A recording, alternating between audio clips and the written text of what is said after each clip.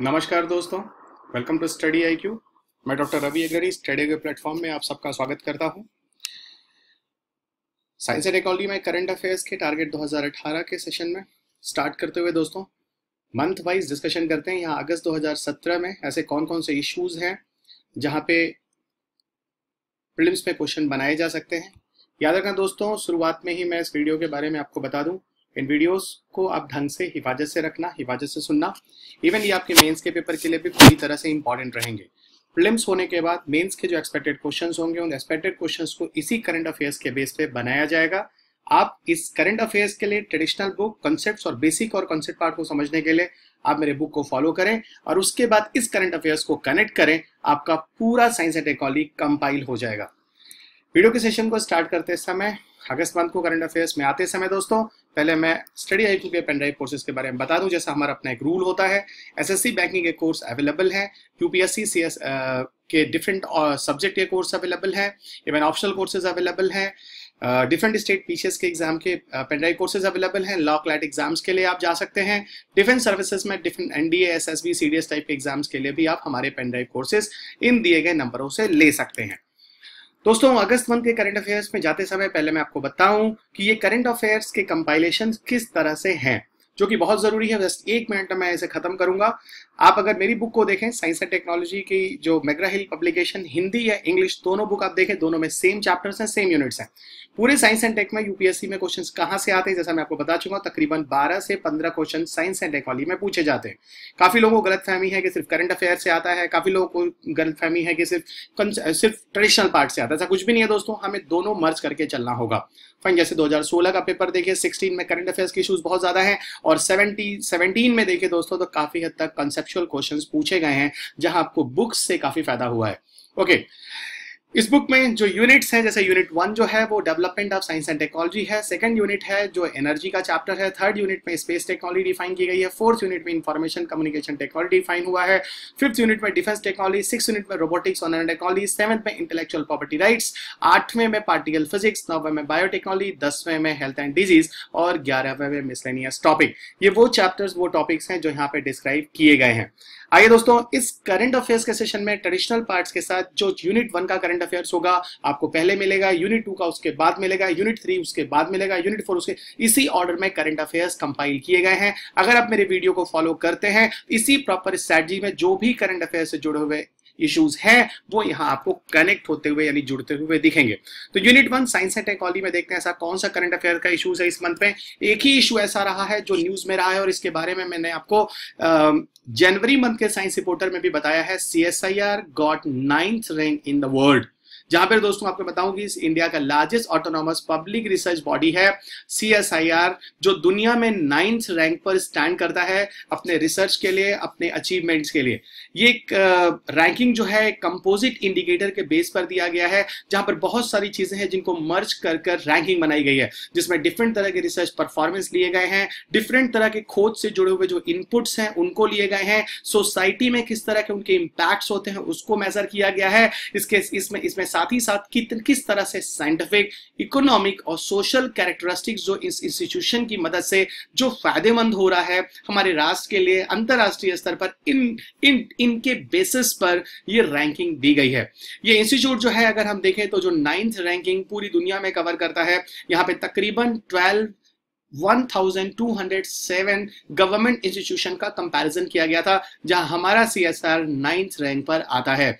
ये जो भी सर्वे है जो भी आ, डेटा है गाइस दोस्तों, ये सिमागो इंस्टीट्यूशन की एक रैंकिंग है. सिमागो इंस्टीट्यूशन रैंकिंग जो है एक साइंस इवेल्युएशन रिसोर्स के बेसिस पर ये रैंकिंग देता है और इस रैंकिंग के बेसिस पर इंडिया नाइन्थ रैंक पर स्टैंड करता है.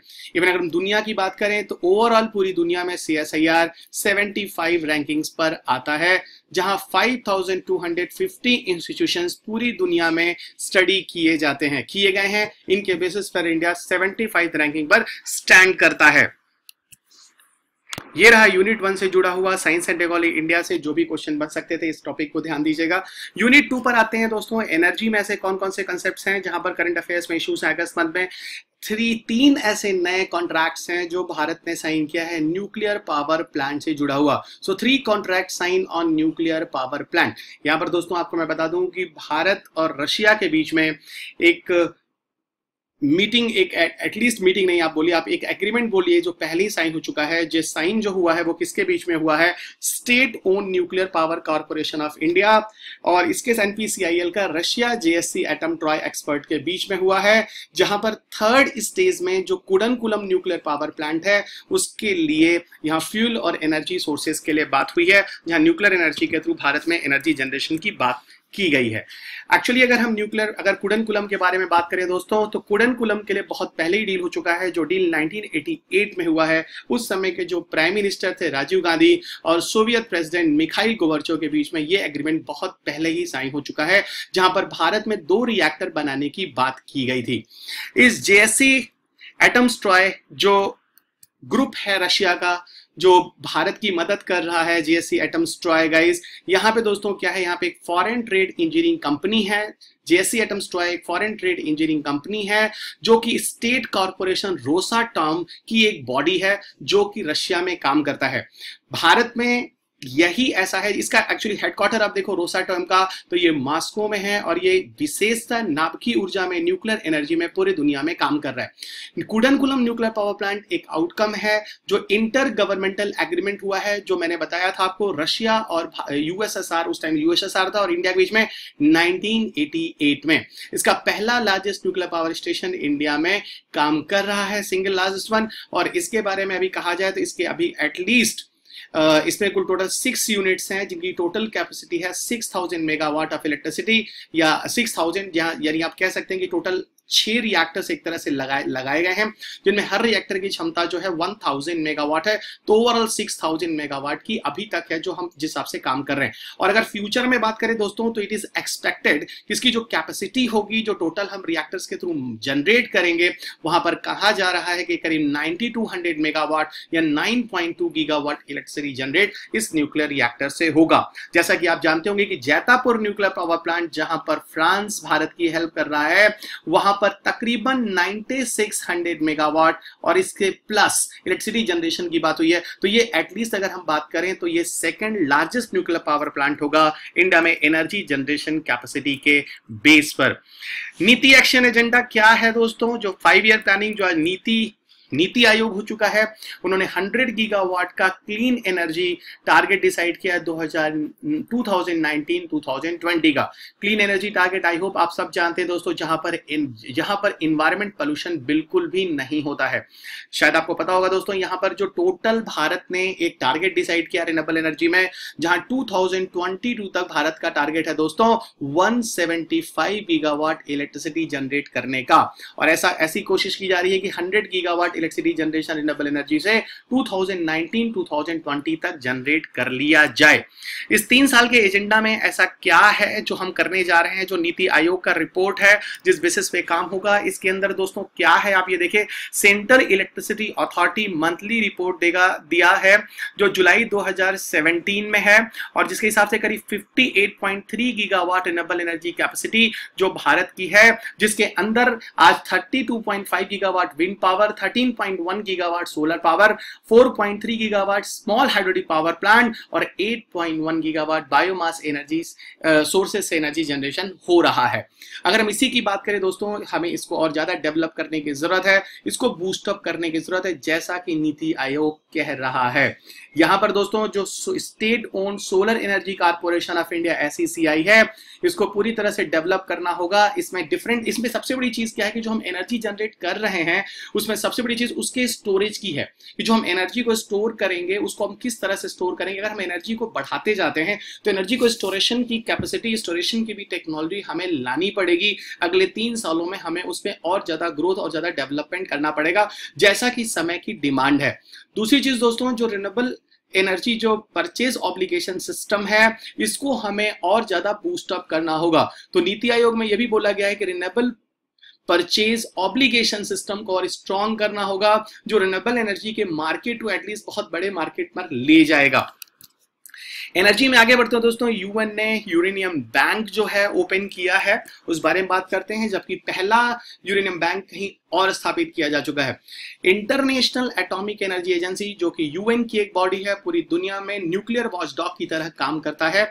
इसने दोस्तों यूएन ग्लोबल न्यूक्लियर वॉचडॉग की तरह काम करता है। इसने एक यूरेनियन बैंक बनाया है कजाकिस्तान में, जो 29 अगस्त 2017 को डिसाइड हुआ। दूसरी चीज़, इसके पीछे रीजन जो है, इसके पीछे रीजन यह है कि ये डिस्करेज करेगा उन नए राष्ट्रों को, जो न्यूक्लियर फ्यूल को एनरिच करने की कोशिश कर रहे हैं, क्योंकि जब हम वही न्यूक्लियर एनर्जी को जब एनरिच करते हैं, उसी यूरेनियम के परसेंटेज को जब हम बढ़ाते हैं एनरिच करते हैं तो उसी एनरिचमेंट से हम एटम बम भी बना सकते हैं। शायद आप, अगर आपने ट्रेडिशनल चीज़ें मेरी बुक से पढ़ी होंगी, या मेरे कभी लेक्चर सुने होंगे, या कहीं आपने पढ़ा होगा तो आपको पता होगा, उसी यूरम 235 को अगर तीन से पाँच हम करते हैं, जो कि नेचुरल में तकरीबन पॉइंट टू के आसपास होता है, उस पॉइंट टू यूरेनियम टू को, जो कि नेचुरल यूरेनियम में पाया जाता है, जब आप एनरिच करके थ्री लाते हैं, तब इसका यूज़ करते हैं हम इलेक्ट्रिसिटी के लिए, और जब तकरीबन इसको आप नाइनटी परसेंट के आसपास रीच करते हैं तो इसका यूज़ होता है एटम बम के लिए। तो कहने का मतलब है कि यहाँ पर इलेक्ट्रिसिटी के लिए थ्री परसेंट एनरिचमेंट तक की बात की जा रही है, ताकि उस इलेक्ट्रिसिटी का मिस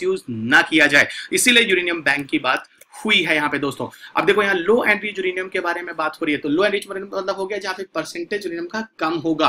कहाँ पर यह है? ईस्टर्न कजाकिस्तान में एक शहर है ओसी कमान यहाँ पर यह स्थापित किया गया है।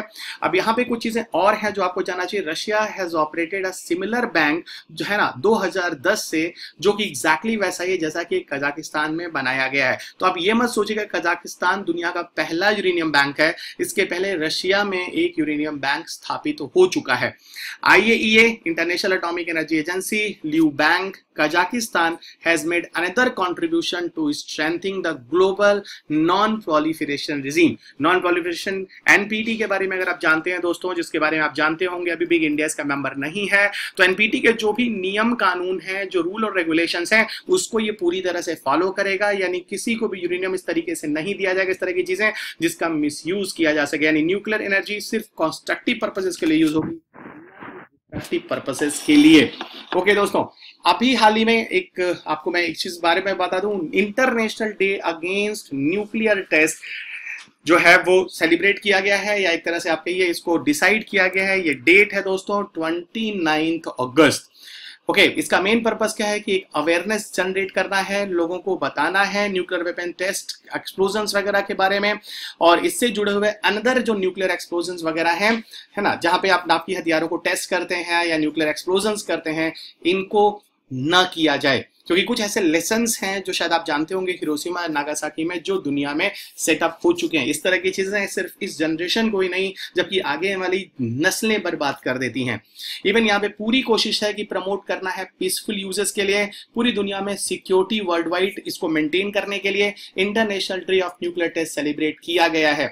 इसकी सबसे ज़रूरत क्या थी कि जो कैटास्ट्रॉफिक इफ़ेक्ट है, यानी डिस्ट्रक्टिव इफ़ेक्ट है जो न्यूक्लियर न्यूक्लियर एनर्जी के, उसको कम से कम किया जाए और उसको पूरी तरह से ह्यूमन ह्यूमन के ह्यूमन के लिए इन्वायरमेंट के लिए और इस पूरी धरती के लिए, इस पूरे प्लैनेट्स के लिए पूरी तरह से सुरक्षित रखा जा सके। International day against nuclear test जो है दोस्तों, इसको जो जो इंस्टीट्यूटेड है, ये यूनाइटेड नेशन जनरल असेंबली में 2009 में ही ये ये रिजोल्यूशन जो था, ये पहले ही पास कर लिया गया था। ये रिजोल्यूशन जो है, सबसे पहले कजाकिस्तान में लाया गया था और ये लार्ज नंबर पे इसके स्पॉन्सर्स और कोई स्पॉन्सर्स थे जो कि 1991 में, ये कुछ उसका बैकग्राउंड है जो मैं आपको बता रहा हूँ। और पहली बार ये डे जो था 2010 में ऑब्ज़र्व किया गया। तो आप बिल्कुल याद रखिएगा ट्वेंटी अगस्त जो है, ये जो हम international day against nuclear test जो हम इस डे को डिसाइड करते हैं, इसके डिसाइड किया है, जिसके पीछे उद्देश्य क्या है कि न्यूक्लियर एनर्जी को पीसफुल पर्पजेस के लिए यूज़ किया जाए। आगे बात करते हैं दोस्तों रिडोल्व डीजल के बारे में, जिनका नाम सुना होगा, जिन्होंने सबसे पहले डीजल इंजन बनाया था। उन्हीं उन्हीं के उन्हीं के, उन्हीं पर बेस्ड होकर हमने इंटरनेशनल बायोडीजल डे डिसाइड किया है जिसको दुनिया में वर्ल्ड बायोफ्यूल डे के नाम से भी जानते हैं। 2017 में जो न्यूज़ आई, उसके बारे में बात करते हैं। इंटरनेशनल बायोडीजल डे जो हम सेलिब्रेट करते हैं, हर साल 10 अगस्त को हम इंटरनेशनल बायोडीजल डे या world biofuel day tenth August को हम सेलिब्रेट करते हैं। जिसके पीछे रीजन ये है कि बायोफ्यूल का मतलब होता है बायोडीजल का मतलब होता है, ऐसे फ्यूल जो नॉन फॉसिल फ्यूल है, यानी कहने का मतलब है जो नेचर में फॉसिल फ्यूल जो नहीं ये नहीं है, जो नेचर में मिलते हैं, उनको हम यूज़ नहीं करते हैं। क्योंकि जो पेट्रोलियम प्रोडक्ट टाइप की चीज़ें जो फॉसिल फ्यूल के फॉर्म में मिलती हैं, उनको जलाने से पॉल्यूशन ज़्यादा होता है। इसके पीछे रीजन क्या है कि सर रिजोल्ट डीजल ने ही सबसे पहले इंजन जो था, वो पीनट ऑयल की मदद से 1893 में सबसे पहले इन्होंने डीजल इंजन चलाया और जिसका सोर जो था वो पीनट ऑयल था। पीनट ऑयल एक बायोफ्यूल है, क्योंकि बायोफ्यूल का मतलब होता है इस तरह के फ्यूल जहाँ पर प्लांट्स या माइक्रो ऑर्गेनिजम्स की मदद लेते हैं हम ऑयल प्रोड्यूस करने के लिए। इनसे फ़ायदा ये होता है दोस्तों, इनसे बेनिफिट क्या होता है कि रिनेबल फ्यूल है। इस तरह के प्लांट्स और प्रोडक्ट्स हमेशा नेचर में होते रहते हैं तो इनको हम यूज़ कर सकते हैं। दूसरा क्या होता है, ये बायोडिग्रेडेबल होते हैं, इनको डिकम्पोज बैक्टीरिया वगैरह आसानी से कर लेते हैं। ये सस्टेनेबल हैं, ये इन्वायरमेंटल फ्रेंडली हैं, क्योंकि इनसे जो निकलने वाला कार्बन डाइऑक्साइड या पोल्यूशन होता है, वो काफ़ी हद तक कम होता है। अगर आप एनर्जी का लेक्चर कभी सुने हो या मेरा जानते हो तो मैंने ये चीज़ अपनी बुक में भी बताई है। अगर वही फ्यूल जब कम टेम्परेचर कम कम रेट से चलता है, यानी जब हम गाड़ियों को चलाते हैं दोस्तों तो कभी जो हमारी व्हीकल होती है, वो स्लो स्लो रेट से चलती है, कभी फास्ट रेट से चलती है। जब एक्सेलेटर कम लेते हैं तो वही पेट्रोल डीजल होता है, वो गंदी तरीके से चलता है। और जब गंदी तरीके से फ्यूल चलता है दोस्तों तो पोल्यूशन का लेवल बहुत ज़्यादा होता है। अगर उसी को हम एक्सिलरेट करते हैं पोल्यूशन के रेट को बढ़ा दें तो यहाँ पर क्या होता है, यानी अगर फ्यूल अच्छी तरह से जले तो पॉल्यूशन का लेवल कम होगा। यही बेनिफिट है दोस्तों, की जो बायोफ्यूल होते हैं, उनके फ्यूल अच्छी तरह से जलते हैं। इसीलिए यहाँ पे लिखा जा रहा है, तकरीबन 60 परसेंट लेस कार्बन डाइऑक्साइड निकलता है। यानी इन्वायरमेंट और ह्यूमन हेल्थ के लिए काफ़ी हद तक ये बेहतर है। जो एनर्जी प्रोड्यूस होती है बायोडीजल डिकम्बशन से, वहाँ लिखा गया अप्रोक्सीमेटली 90 परसेंट ऑफ़ एनर्जी ऐसी है, जो किसी पेट्रोलियम प्रोडक्ट से निकलती है, उसके अपेक्षा है 90 परसेंट एनर्जी यहाँ भी जनरेट होती है। यानी पूरी तरह से इक्वल नहीं है, लेकिन 90 परसेंट की इक्वली हम यहाँ पर एनर्जी जनरेट कर लेते हैं। ओके okay, आगे बात करते हैं। यहाँ के अगर हम बाई प्रोडक्ट की बात करें इसमें मिथाइल एस्टर और ग्लिसरीन टाइप की चीज़ें निकलती हैं जिनको हम फर्दर बायोडीजल वगैरह में प्रोड्यूस में हम कर सकते हैं। इसके अलावा इनको सोप या साबुन वगैरह बनाने में भी किया जा सकता है। तो बायोडीजल भविष्य के लिए एक अल्टरनेटिव फ्यूल है। इसके बारे में बताने की ज़रूरत नहीं अब आप समझते हैं वेजिटेबल ऑयल रिसाइकिल ग्रीसेस यहाँ तक कि एलगी वगैरह भी आजकल बायोडीजल प्रोडक्शन के लिए बहुत ज़्यादा होते हैं। अगर आपने टू का यूपीएससी का पेपर दिया है तो आप जानते हैं कि थर्ड जनरेशन बायोफ्यूल में का क्वेश्चन जहाँ पर एल्ग्वाइल कहते हैं, इसको आप मेरी बुक में जाके पढ़िएगा। एनर्जी के चैप्टर में मैंने इसको पूरी तरह से डिफाइन किया है। First generation second generation third generation और फोर्थ जनरेशन बायोफ्यूल तो एल्ग्वाइल जो है दोस्तों, ये थर्ड जनरेशन बायोफ्यूल में आता है। जैसे बोट्रायोकॉकस ब्राउनी सायोकाइड्रियम इस तरह के के नाम मैंने लिखे हुए हैं क्लोरेला जो करीब उनके पूरे बॉडी वेट में 70 परसेंट जो होता है, वो लिपिड कॉन्स्टिट्यूएंट होता है। और लिपिड में हम ट्रांस एस्टिफिकेशन एक प्रोसीजर होता है, जिसको करने के बाद हम लिपिड को बायोडीजल में कन्वर्ट कर देते हैं। और ये ट्रांस एस्टिफिकेशन प्रोसेस बहुत ही डिफ़िकल्ट प्रोसेस होता है but still we people transfer ये क्वेश्चन यूपीएससी ने पूछा था कि ये एक सस्टेनेबल मैथड है तो बिल्कुल सस्टेनेबल मैथड है। इसको बनाने में काफ़ी दिक्कत आती है तो ये भी बात सही थी, क्योंकि ट्रांस एस्टिफिकेशन प्रोसेस बहुत ही डिफ़िकल्ट प्रोसेस होता है। ये क्वेश्चन टू के प्री में पूछा पूछा गया था और वहाँ पर उन्होंने ये भी बोला था कि एल्गा जो होते हैं सिर्फ़ वो ओशन में ही होते हैं, ये कॉन्टिनेंट पर नहीं होते। यानी बायोडीजल अगर एल्गा से बनाना है तो कॉन्टिनेंट से नहीं बनेगा। गलत था दोस्तों, मैंने इस चीज़ को बताया भी है कि एल्गा जो होते हैं, वो हर जगह के वाटर में मिलते हैं, चाहे वो फ्रेश वाटर हो, चाहे वो मराइन हो। यानी कॉन्टिनेंट से भी आप इसको यूज़ कर सकते हैं।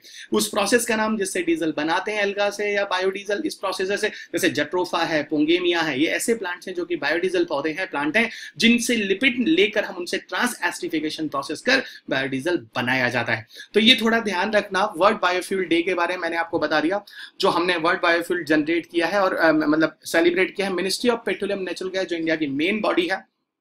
ओके टेंथ अगस्त 2017 को ये सेलिब्रेट किया गया है। इसके पूरे पीछे रीजन क्या है मैंने आपको सारी चीज़ें यहाँ बता दी हैं। रुडॉल्फ डीजल ने सबसे पहले पीनट ऑयल के बेसिस पर जो उन्होंने इंजन चलाया था मैकेनिकल इंजन उसी डे को ही हम लोगों ने सेलिब्रेट किया है। आगे बढ़ते हैं दोस्तों मैथेनॉल एक अच्छा ऑप्शन है, एक चीपर फ्यूल है और दूसरी चीज़, एक इन्वायरमेंट के लिए बहुत ही बेहतरीन फ्यूल है। मैं आपको फिर बता रहा हूँ, जो प्लांट डिराइव फ्यूल होते हैं, वो अच्छी तरह जलते हैं, यानी उनसे पॉल्यूशन काफ़ी हद तक कम होता है। गवर्नमेंट ने, नीति आयोग ने स्टडी मतलब ऑटोमोबाइल स्टैंडर्ड को और अच्छा करने के लिए मतलब पेट्रोलियम आते प्रोडक्ट को देखने के लिए उन्होंने बोला कि भाई चाइना जैसे कंट्री में मैथेनॉल का यूज़ बहुत ज़्यादा होता है एज एन अल्टरनेटिव तो हम इंडिया में भी इन चीज़ों को क्यों नहीं लाते? हैं। इवन इन चीज़ों को क्यों बूस्टअप नहीं करते आपको बताऊँ दोस्तों इंडिया जो है मैथेनॉल को सऊदी अरबिया और ईरान से एट प्रेजेंट इंपोर्ट कर रहा है, वहाँ से मंगा रहा है। आपके पेपर में क्वेश्चन बनता है दोस्तों, जिसको हम कहते हैं गैसोहॉल गैसोहॉल जो होता है, आप हमेशा याद रखना, ये गैसोलीन ओके गैसोलीन और प्लस प्लस एथेनॉल का मिक्सचर होता है। आप देखना मैंने बुक में मेंशन किया हुआ जिन लोगों ने बुक पढ़ा है आज सारी चीज़ें आपको समझ में आ रही होंगी।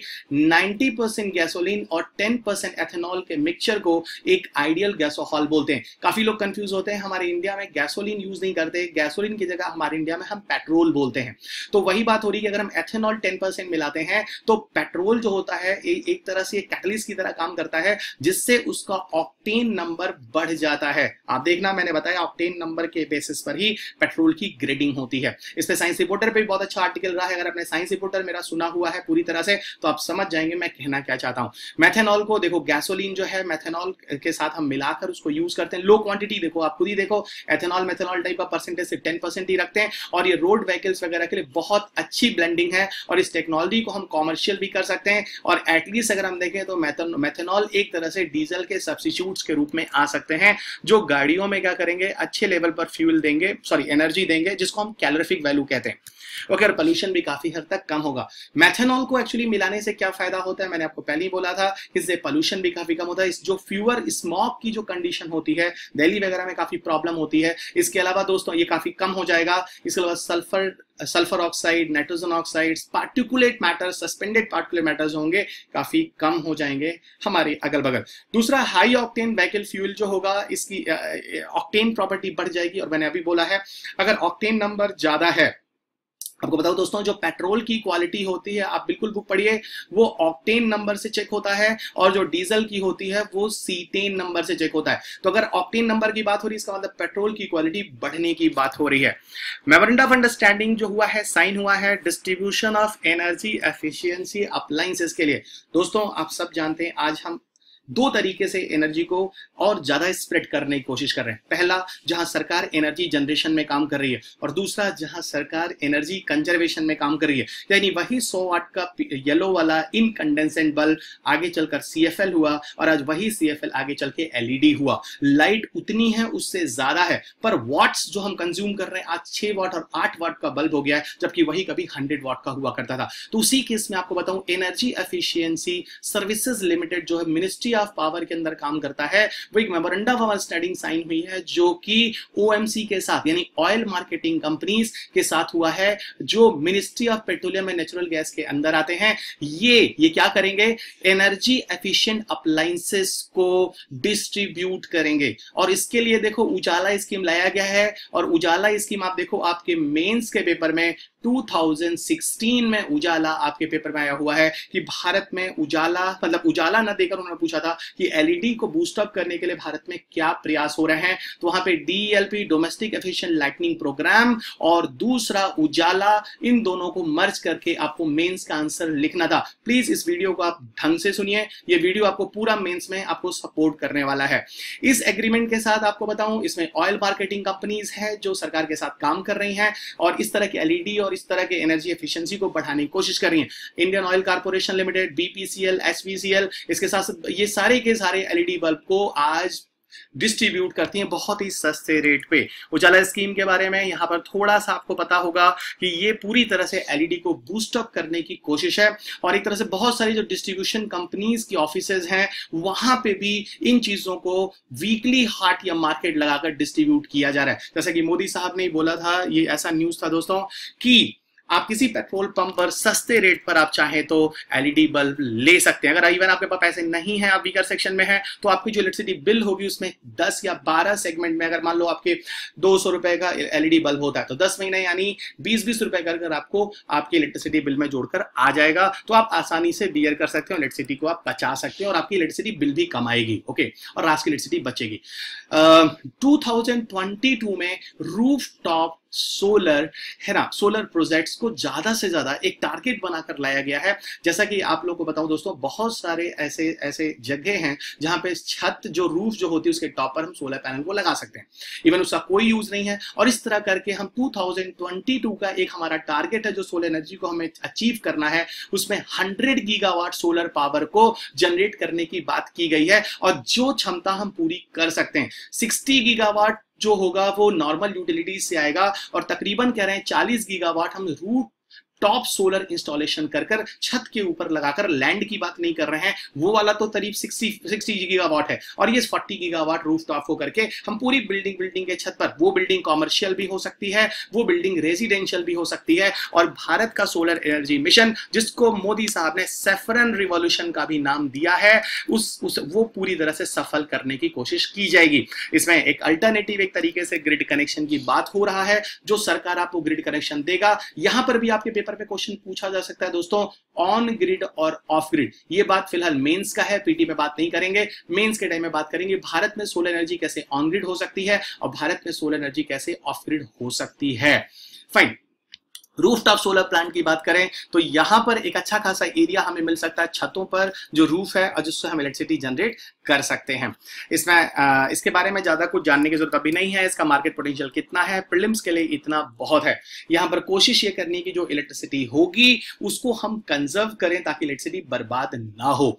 इसके अलावा दोस्तों, जो डिफरेंट तरह के रेडिएशन होते हैं, जैसे रेडिएक्टिव एलिमेंट जो होते हैं यूरेनियम है थोरियम है प्लूटोनियम है, बहुत सारे ऐसे न्यूक्लियर हादसे हुए हैं जो इस दुनिया में हुए हैं ओके जो ह्यूमन की गलतियों से हुए हैं, बहुत सारे कुछ नेचुरल वजह से भी हुए हैं। इनसे जो रेडिएशन निकलते हैं दोस्तों, ये रेडिएशन आप ये मत सोचेगा कि सिर्फ़ वो हमारे लिए नुकसान करते हैं इवन इन रेडिएशन के फ़ायदे भी हैं। क्या बता आपके पेपर में इस तरह के क्वेश्चन आ जाए कि रेडिएशन टेक्नोलॉजी का जो डेवलपमेंट है इवन भारत में जो कई डिपार्टमेंट है जो काम करते हैं, कई ऐसे सेंटर्स है जो काम करते हैं, इन रेडिएशन को जनरेट कर इनको डिफरेंट तरीके से इनके पॉजिटिव यूजेस में भी लाते हैं। क्या है वो चीज़? उसके बारे में बात करते हैं। Bhabha atomic research centre BARC जो डिपार्टमेंट ऑफ़ एटॉमिक एनर्जी के साथ मिलकर काम कर रहा है या ओवरऑल इसका एक लैबोरेटरी आप ऐसे बोल सकते हैं। इसने एक टेक्नोलॉजी को मतलब इस तरह के रेडिएशन टाइप की टेक्नोलॉजी को विकसित किया है।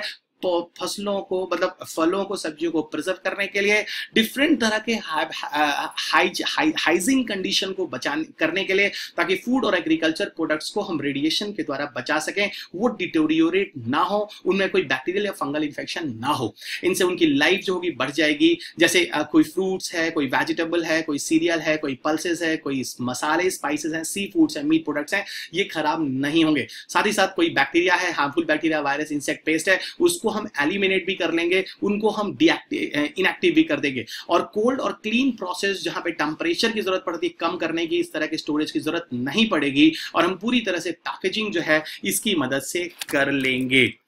आगे बढ़ते हैं दोस्तों यूनिट थ्री में यूनिट थ्री है स्पेस टेक्नोलॉजी यहाँ पर आप सबको बता दूँ ट्रापिसिट वन जिसके बारे में जनवरी मंथ के साइंस रिपोर्टर में मैंने आपको पढ़ाया हुआ है। आप जनवरी मंथ का साइंस रिपोर्टर ज़रूर सुनिएगा। ये ऐसा एक सोलर सिस्टम है जो तकरीबन जहाँ पर सेवन अर्थ साइज़ के प्लैनेट्स हैं और ये ये हमारे, हमारी पृथ्वी से तकरीबन 40 लाइट ईयर दूर है। और यहाँ पर ये डिफरेंट तरह के जो सेवन जो अर्थ साइज़ है, इनमें से कुछ ऐसे हैं जहाँ पर पूरी तरह से से लाइफ की पॉसिबिलिटी है तो ट्रापसिट वन बिल्कुल याद रखेगा। और ज़्यादा डिटेल चाहिए तो आप साइंस रिपोर्टर जनवरी मंथ का ज़रूर पढ़ें। जनवरी मंथ का साइंस रिपोर्टर पूरे 2017 का ईयरली कॉन्क्रीट है। ओके आर एस एस के बारे में बात करते हैं, आप सब जानते हैं दोस्तों।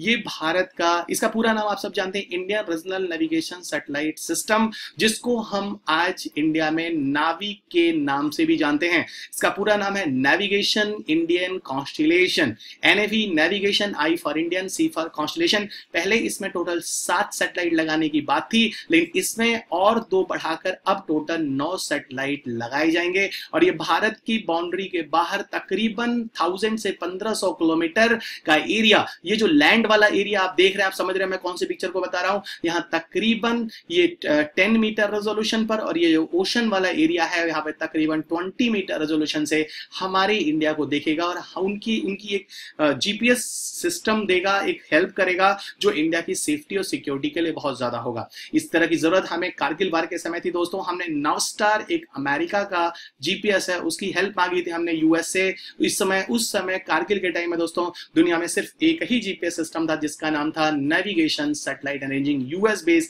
1970s के आसपास ये लगाया गया था और यूएस ने बिल्कुल भी कारगिल के टाइम में हमें उसका डेटा देने से मना कर दिया था।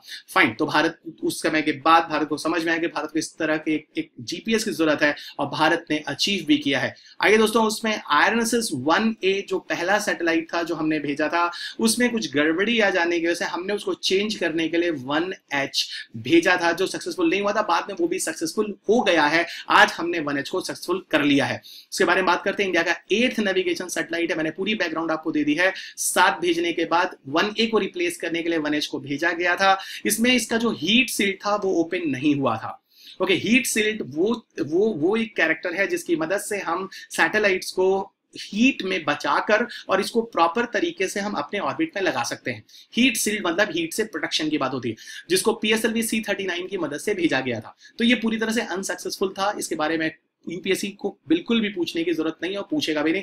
इसरो ये पूरी तरह से आपको समझ आ गया। ये एक्चुअली जो आईआरएनएसएस में जो सेवन सेटेलाइट्स हैं और बाकी जो आगे फ्यूचर में भेजे जाएँगे, सबका लाइफ स्पैन दस साल मिनिमम है। और यहाँ भी मैंने बोल दिया R S S one A को रिप्लेस करने के लिए, क्योंकि वन ए में दोस्तों रूबोइडियम एटॉमिक क्लॉक जो है वो फेल हो गया था, इसीलिए वन ए को रिप्लेस करने के लिए वन एच की ज़रूरत पड़ी थी। एटोमिक क्लॉक होता क्या है? छोटा सा मैं आपको बता दूँ दोस्तों। जीपीएस के केस में आपको बताऊँ, कुछ चीज़ें हैं, अगर आप थियरी थियरी ऑफ़ रिलेटिविटी को समझते हैं तो उस कंसेप्ट के थ्रू ये जो आइंस्टाइन का कॉन्सेप्ट है अगर आप कभी पार्टिकल फिजिक्स के वीडियोस को सुनेंगे मेरे या आ, मेरी बुक को देखेंगे वहाँ मैंने स्पेशल थियरी ऑफ़ रिलेटिविटी और जनरल थियरी ऑफ़ रिलेटिविटी को ढंग से समझाया है। क्योंकि जनरल थियरी ऑफ़ रिलेटिविटी के बेस पे ही ग्रेविटेशन वेव की बात हुई थी। और आपको मैं बताऊँ दोस्तों ये जो ये जो कॉन्सेप्ट है ना एटॉमिक क्लॉक ये ऐसी चीज़ है जो कि समय के साथ होता क्या है जब हम जीपीएस को यूज़ करते हैं तो हर दिन जीपीएस में क्या होता है एक टाइम पे जाके समय को सेट करना पड़ता है। नहीं तो ऐसा होगा कि आज जो लोकेशन मेरा मान लो नोएडा सेक्टर सेवेंटी दे रहा है। कल यही जगह सेक्टर 74 ना के हमेशा ये ये ये 79 दे रहा होगा। थोड़ा बगल शिफ्ट हो जाएगा। तो उतना एरिया जो हमारा जो मिसगाइड हो जाता है, जो जीपीएस में जो सिग्नल या लोकेशन देने में दिक्कत आती है तो हमेशा उसी सेटिंग करनी होती है। तो मेरा कहने का मतलब है एटॉमिक क्लॉक क्या होता है, ये प्रॉपर जीपीएस में लोकेशन को फिक्स करने का एक तरीका है, जिसमें एरर्स के चांसेस कम होते हैं। तो उसको शॉर्ट में तो अभी मैं इतना ही बता रहा हूँ तो उसी क्लॉक को फेल हो जाने से लोकेशन में प्रॉपर ट्रांसपेरेंसी और प्रॉपर चीज़ें नहीं आ रही थी।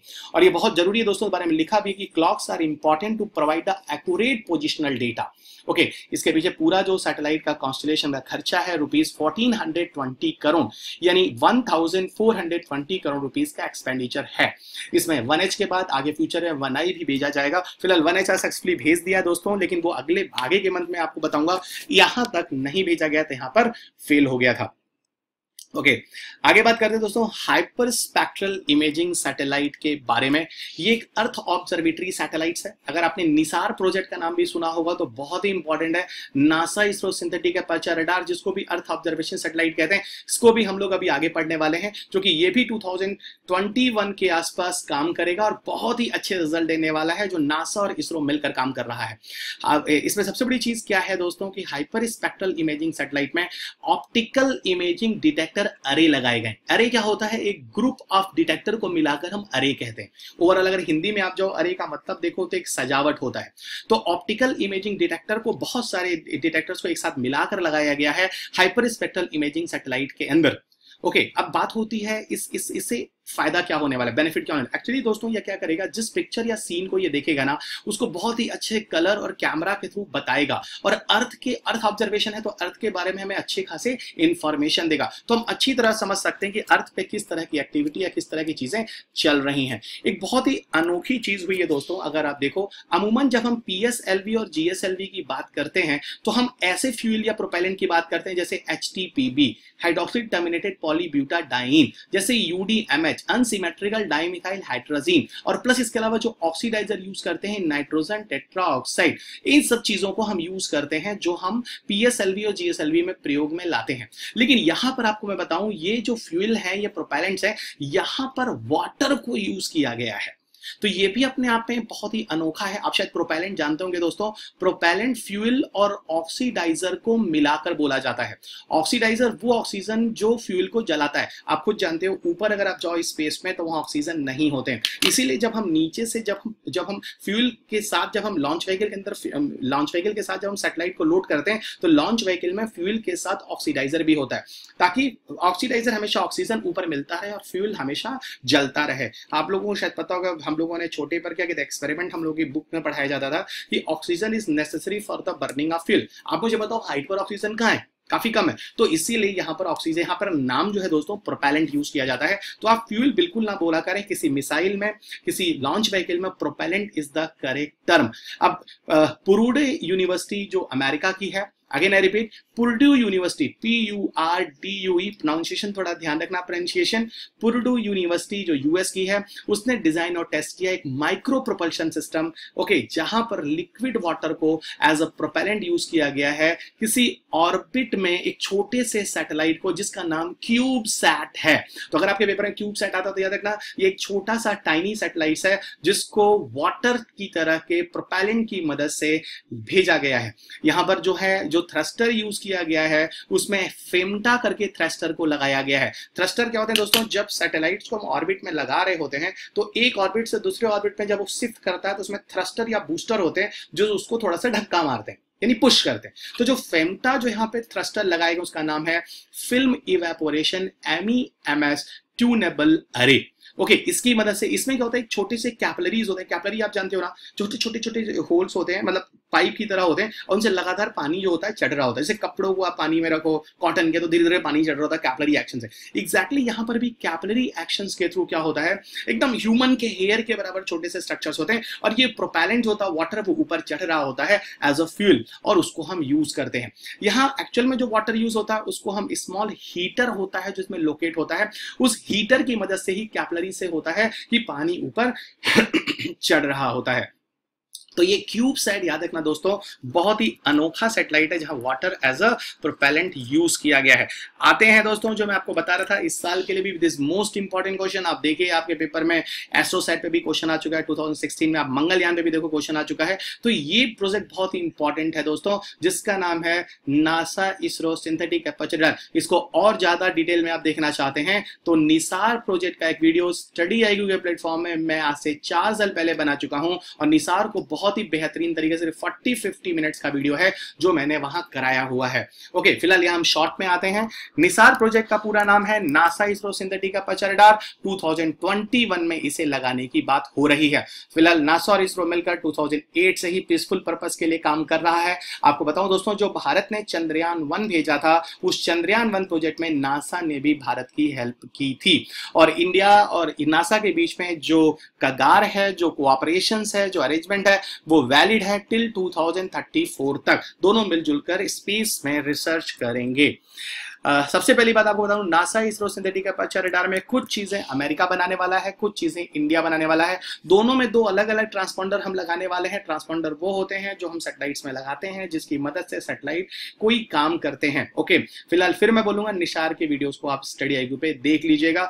एस और एल बैंड ट्रांसपॉन्डर यहाँ लगाएगा इसलिए इसको दो फ्रीक्वेंसी का ट्रांसपॉन्डर या डुअल फ्रीक्वेंसी बोला जाता है। इसमें हम डिफरेंट तरह के रिमोट सेंसिंग ऑब्जर्वेशन करते हैं, अर्थ के नेचुरल प्रोसेस को समझने में, क्योंकि अर्थ ऑब्जर्वेटरी सेटेलाइट होगा, में मदद मिलेगी। यहाँ पे कुछ चीज़ें और है दोस्तों जो मैं आपको बताऊँ कि ये जो होगा सॉइल मॉइस्चर की स्टडी करेगा एग्रीकल्चर की स्टडी करेगा फॉरेस्ट बायोमास की स्टडी करेगा इकोसिस्टम में होने वाले स्लाइड चेंजेस को भी बताएगा क्योंकि रिमोट सेंसिंग इतने बेहतर नहीं होते जितना बेहतर अर्थ ऑब्जर्वेटरी सेटेलाइट होता है।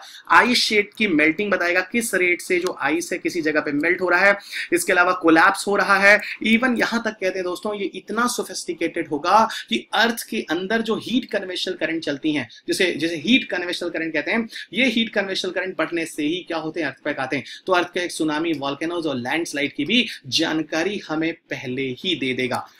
एक बहुत ही इंटरेस्टिंग न्यूज़ है दोस्तों, जहाँ भारत ने भी अभी काम करना शुरू किया है और बहुत ही बड़े बड़े विजन्स लेकर आया है, जिसकी बात करते हैं हम क्वांटम सैटेलाइट की। चाइना ने क्वांटम सैटेलाइट यूज़ किया है और जिसके पीछे सबसे बड़ा रीजन है दोस्तों अब किस चाइना के सैटेलाइट्स को के डेटा को जो कम्युनिकेशन इंफॉर्मेशन या कोई भी डेटा ये यूज़ करते हैं इनको हैक करना मुश्किल ही नहीं नामुमकिन है। ये एक नेक्स्ट जनरेशन की एक टेक्नोलॉजी है इनक्रिप्टेड टेक्नोलॉजी है जिसको जिसमें क्वांटम क्रिप्टोग्राफी के नाम से भी जानते हैं। सो so, क्वांटम सैटेलाइट की टेक्नोलॉजी को हम क्वांटम क्रिप्टोग्राफी के नाम से भी जानते हैं। चाइनीज़ रिसर्चर्स जो हैं, जो एक्चुअली जो प्रोजेक्ट लेकर आए हैं क्वांटम सैटेलाइट और इस तरह की चीज़ों को डेवलप करने के लिए, उसका नाम है quantum experiment at space scale again I repeat quantum experiment at space scale जिसको Q U E double S project के नाम से भी जानते हैं। अब ये पूरी तरह से अवेलेबल है और जो ट्रांसमिट करता है मैसेजेस वगैरह को स्पेस से अर्थ में और पूरी तरह से सुरक्षित तरीके से डेटा को भेजता है। यहाँ पर जो डेटा भेजा जाता जाता है दोस्तों, वहाँ पर क्वांटम की होते हैं। क्वांटम लाइट की यूनिट होते हैं क्वांटा कहते हैं। तो क्वांटा यानी लाइट बीम जो होता है, उसके थ्रू डेटा ट्रांसफ़र किया जाता है। लाइट बीम का मतलब हम कहते हैं फोटोन यानी यहाँ पर जो जो डेटा ट्रांसफ़र किया जाता है, उसका मीडियम जो होता है क्वांटम की डिस्ट्रीब्यूशन के द्वारा, यानी फोटोन के द्वारा हम, यानी लाइट के यूनिट के द्वारा हम डेटा को ट्रांसफ़र करते हैं, जिसको हैक कर पाना नामुमकिन है। Okay okay. Q K D जो है क्वांटम की डिस्ट्रीब्यूशन जो है, इसमें दो डिस्टेंट यूज़र्स होते हैं। इसमें जिनकी मदद से काम करते हैं। वन एक टाइम पैड इंक्रिप्शन होता है, जो इंक्रिप्ट करके डेटा को भेजता है, और दूसरा उसको डिक्रिप्ट करने वाला था, यानी अगर आप कोडिंग और डी समझ सकते हैं सिंपल भाषा में तो वो टर्म मैं यूज़ कर रहा हूँ। और ये ऐसा इंक्रिप्शन है, जिसको अनब्रेकेबल है, यानी कोई भी बीच में नहीं ले सकता है, नहीं सुन सकता है। और इस तरह की चीज़ें साइबर सिक्योरिटी में काफ़ी बेहतर होंगी। किसी भी कंट्री का डेटा पूरी तरह से सेफ़ रहेगा। कम्युनिकेशन यूनिट चार में आते हैं जिसका चैप्टर का नाम है यूनिट का नाम है इंफॉर्मेशन कम्युनिकेशन टेक्नोलॉजी शॉर्ट में मैंने इसे आईसीटी के नाम से लिखा है। यहाँ पर दो, दोस्तों कमेटी एक बनाई गई है भारत में डेटा को प्रोटेक्ट करने के लिए जो union ministry of electronics and information technology जिसके लिए इस कमेटी को बनाने के लिए मतलब कार्य किया है जिसका जो हेड है जो कमेटी का जो सुप्रीम कोर्ट के जज है justice B N Sri Krishna को इसका हेड बनाया गया है। और इसी के द्वारा डेटा प्रोडक्शन बिल लाया जाएगा। यहाँ पे भारत क्या कर रहा है, जो हमारे डेटा है, आज समय के साथ डेटा और बढ़ते जा रहे हैं, बढ़ते जा रहे हैं, बढ़ते जा रहे हैं। आज देखो, आधार हो गया डिजिटल लॉकर हो गया, सब कुछ इंटरनेट पे हमारे डेटा बढ़ते जा रहे हैं। उन डेटा को प्रोटेक्शन करने के लिए बिल लाएगा। ये क्रिश्चन कमेटी जो है एक्चुअली जो डेटा हमारा बढ़ता जा रहा है, जिसमें सारे इंफॉर्मेशन रखे जाते हैं इंटरनेट पे, उसे हम बिग डेटा के नाम से जानते हैं, यानी लार्ज वॉल्यूम ऑफ़ डेटा ये स्ट्रक्चर्ड डेटा भी है और अनस्ट्रक्चर्ड डेटा भी है। डेटा मैनेजमेंट पॉलिसी जो है 2016 में लाई गई है, जहाँ पर इसे लाने के लिए जो जो लाया गया है, वो कंट्रोलर और ऑडिटर जनरल ने स्पेसिफिक कार्य किया है भारत में। और ये ये जो है, एक तरह का डेटा एनालिटिक्स सेंटर बनाने की बात किया था, जो हमारे राष्ट्र में होगा। और जहाँ पर क्या होगा, जो national data sharing accessibility policy 2012 को फॉलो करेगा। फाइन तो ये थोड़ा याद रखना बिग डेटा मैनेजमेंट पॉलिसी इसके लिए आ चुकी है। और यहाँ पर भारत में जो भी है नेशनल इंफॉर्मेटिक्स सेंटर जो है, वो इन चीज़ों को इसके लिए काम कर रहा है।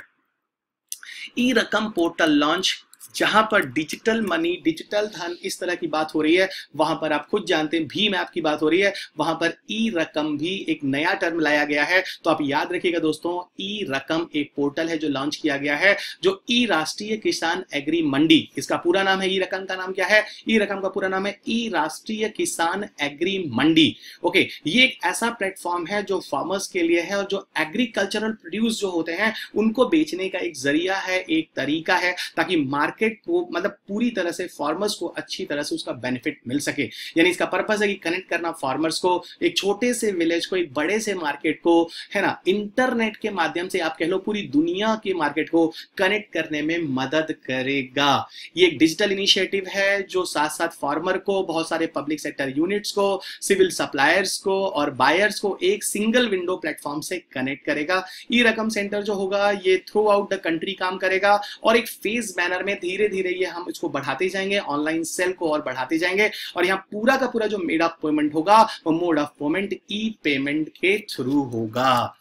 आगे बढ़े दोस्तों, इंडिया का पहला इंटरनेट ऑफ़ थिंग्स पॉलिसी जो है, जो बनाई गई है और जिसपे न्यूज़ भी रहा है, जिसपे काम कर रहे हैं, आगे 2020 में एक बहुत अच्छे रिज़ल्ट आने वाले हैं, जो कि एक तरह से एक स्मार्ट इंडिया या डिजिटल इंडिया का कॉन्सेप्ट है। इंटरनेट ऑफ़ थिंग्स आईओटी को लेकर बहुत सारे इश्यूज़ हैं, इसके बारे में आप देखेगा इसके बारे में अपनी बुक में भी इंफॉर्मेशन दिया है। आईओटी पढ़ाने का टाइम नहीं है, मैं आपको सीधे करंट अफेयर्स पे आता हूँ। इस कंसेप्ट को लेकर आया है department of electronics and information technology जिसको डाइटी कहते हैं। डाइटी नहीं इंटरनेट ऑफ़ थिंग पॉलिसी लाई है। इस पॉलिसी का मेन जो उद्देश्य है, जो डेवलप्ड हुआ है, इसका मेन उद्देश्य है कि इंडिया में आईओटी को इंडस्ट्री के साथ कनेक्ट करना है और तकरीबन इंडिया में जो बेनिफिट है डॉलर के रिस्पेक्ट में जो अर्निंग है, वो यूएस डॉलर 15 बिलियन के आसपास 2020 तक बढ़ा देने की बात हो रही है। और यहाँ पर एक इंडियन फोरम भी बना गया है, जहाँ पर कहा जा रहा है कि 2020 तक इवन करंट अगर रेट से अगर देखा जाए तो तकरीबन, देखिए इस चीज़ को मैं पढ़ भी देता हूँ कि IoT industry in India to reach the mark of US dollar 15 billion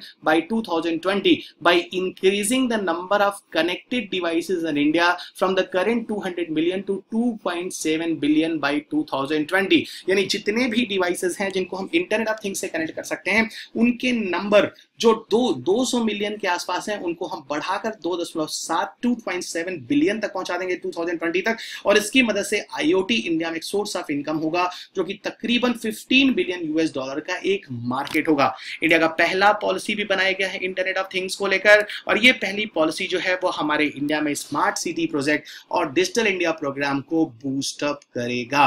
What is the policy and has in store जो आईओटी इंडस्ट्रीज़ को लेकर काम कर रहे हैं, इसके बारे में आप आप आप ऑब्जेक्टिव्स में जो भी इंफॉर्मेशन था मैंने आपको बता दिया है। इसका पूरी प्लानिंग जो आपको बता चुका हूँ, वो डाइटी ही कर रहा है डिफरेंट तरह के रिसर्च के साथ कोलेबरेट करके भारत में। और ये पॉलिसी जो आई है दोस्तों, ये सपोर्ट करेगा इंडिया में हाई क्वालिटी मैन्युफैक्चरिंग में, जो आईओटी डिवाइसेस को लेकर काम करेगा इंटरनेट ऑफ़ थिंग्स को लेकर काम करेगा। ये पूरी तरह से 100% ड्यूटी बेनिफिट होगा ड्यूटी फ्री होगा, और ये अवेलेबल होगा रॉ मटेरियल्स वगैरह के लिए, जिससे आईओटी डिवाइसेस को ज़्यादा से ज़्यादा बनाया जा सके और डिफरेंट ऑर्गेनाइजेशन इसमें मदद करेगा इंटरनेट ऑफ़ थिंग्स को बूस्ट अप करने के लिए और इसको पूरी तरह से सक्सेस करने के लिए। इंडिया का पहला आईओटी प्लेटफॉर्म जो है दोस्तों, उसके बारे में आपको बता दूँ होम ग्राउंड टेक्नोलॉजी और इंटरनेट ऑफ़ थिंग्स कंपनी है, जिसका नाम है स्मार्ट ट्रोन तो स्मार्ट ट्रोन ऑब्जेक्टिव के लिए याद रखना, ये इंडिया का पहली ऐसी कंपनी है जो बता रही है कि मैं आईओटी पहली कंपनी हूँ जो भारत में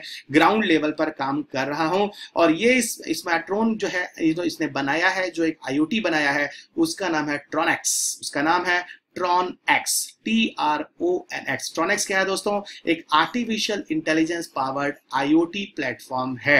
आर्टिफिशियल इंटेलिजेंस जैसे हम मोबाइल फ़ोन में सीरी को यूज़ करते हैं आर्टिफिशियल इंटेलिजेंस होता है तो ट्रॉनेक्स एक artificial intelligence powered IoT platform है। ये आ, हमारी लाइफ को काफ़ी इजी बनाएगा हमारी लाइफ को बहुत ही स्मार्ट बनाएगा। ट्रांसेक्स की बात करें तो एक इंटेलिजेंट इकोसिस्टम है जो डिफरेंट तरह के रेंजेस पर हमें कनेक्ट करने की कनेक्ट करेगा डिफरेंट तरह के डिवाइसेस की मदद से। ट्रॉनेक्स के बारे में बात करें तो ट्रॉनेक्स भी कई तरह के कई लेवल पर काम करेगा।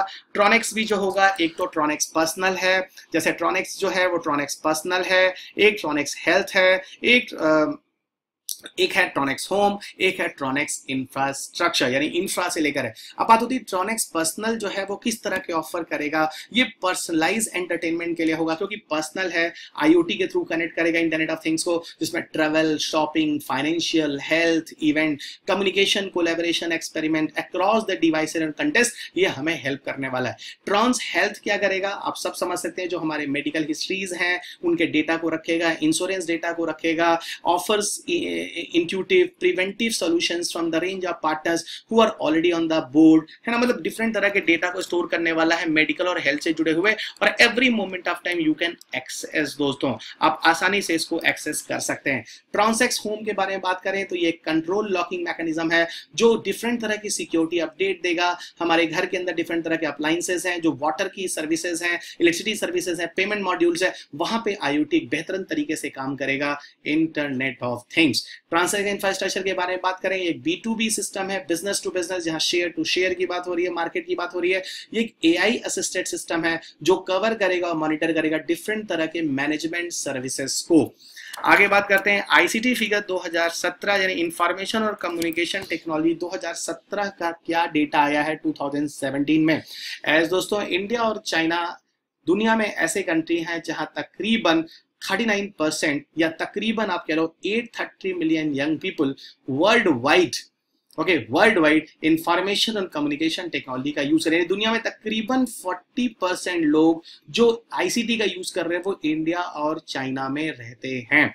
और इंटरनेशनल लेवल पर इंफॉर्मेशन कम्युनिकेशन टेक्नोलॉजी को कंट्रोल करने के लिए जो बॉडी है उसका नाम है इंटरनेशनल टेली कम्युनिकेशन यूनियन आई इसकी भी स्थापना एक तरह से यूएन ने ही की है। ओके okay, दोस्तों अब आगे बात करते हैं तो इसको देखते हुए sufficient increase in broadband access और बढ़ाने की बात हो रही है। सब्सक्रिप्शन चाइना को लेकर लीस्ट डेवलप कंट्रीज़ में भी, है ना, इसकी बात हो रही है। फ़िलहाल इसमें ऐसा कोई भी डेटा नहीं है जिसके बारे में आपको बताया जाए, जो आपके एग्ज़ाम के लिए इंपॉर्टेंट हो सकता हो। एक इंफॉर्मेशन मैं आपको ज़रूर बताऊँगा, यहाँ पर कोशिश ये हो रही है कि high speed fix broadband subscription जो है डेवलपिंग कंट्रीज़ में, उसको बढ़ाया जाए। दो हज़ार सत्रह में जो एक रिपोर्ट है दोस्तों की अगर हम ग्लोबल इंटरनेट पेनिट्रेशन रेट को देखें तो मैन जहाँ पर 50.9 परसेंट के आसपास यूज़ करते हैं, फीमेल वहीं पर 44.9 परसेंट वीमेन इंटरनेट को यूज़ कर, यानी दो, यानी कहने का मतलब है मैन जो यूज़र्स हैं, वो पूरी दुनिया में इंटरनेट के वो ज़्यादा हैं। आगे बढ़ते हैं। Free new age email services ये एक इंफॉर्मेशन रहा है, जैसे अगर पूछ दे गवर्न आपके एग्ज़ाम में कि किस स्टेट ने या किस सीएम ने अभी रिसेंटली जो है फ्री ईमेल सर्विसेज़ लाया तो ये याद रखना राजस्थान में, वसुंधरा राजे गवर्नमेंट ने 2017 में email evolve facility every citizen के लिए अपने स्टेट में उपलब्ध कराया है। आगे बात करते हैं प्रोजेक्ट ब्रेन वेव के बारे में। प्रोजेक्ट ब्रेन वेव क्या है दोस्तों? माइक्रोसॉफ्ट ने प्रोजेक्ट ब्रेन वेव को लॉन्च किया है। एक डीप लर्निंग एक्सलरेशन प्लेटफॉर्म है जो पूरी तरह से रियल टाइम आर्टिफिशियल इंटेलिजेंस पर काम करेगा। जैसे सोफिया एक तरह का आर्टिफिशियल इंटेलिजेंस है। तो भारत में आर्टिफिशियल इंटेलिजेंस के लिए काम करने के लिए प्रोजेक्ट ब्रेन वेव लाया गया जिसे माइक्रोसॉफ्ट लेकर लाया है। अगर ये ऑब्जेक्टिव होता है तो इसे आप टिक कर दीजिएगा। ये प्रोजेक्ट ब्रेन वेव के बारे में एक लाइन और याद रखिएगा। ये एक एफपीजीए है। तो प्रोजेक्ट ब्रेनवेव क्या है? एक तरह का एफपीजी है। एफपीजीए क्या होता है?